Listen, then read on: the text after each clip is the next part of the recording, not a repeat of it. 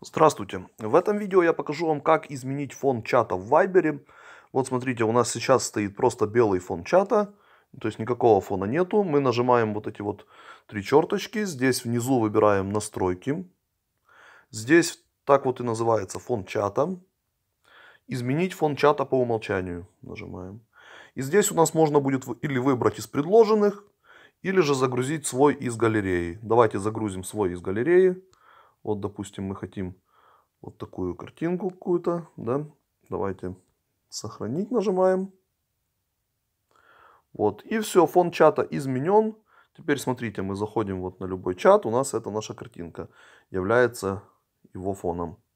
Спасибо за внимание. Если видео было полезным, поставьте, пожалуйста, лайк. И всего вам доброго. До свидания.